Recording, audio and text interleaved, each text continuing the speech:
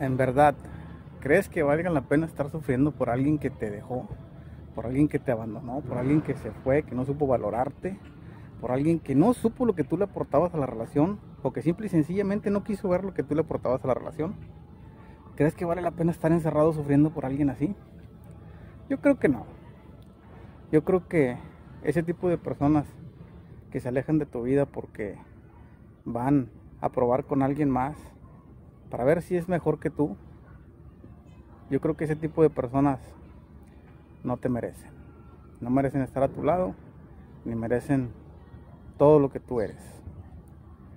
En verdad, ¿cuánto tiempo más vas a estar sufriendo por alguien así? ¿Sabes cuándo se va a dar cuenta de lo que vales tú? Cuando tú te empieces a valorar a ti mismo.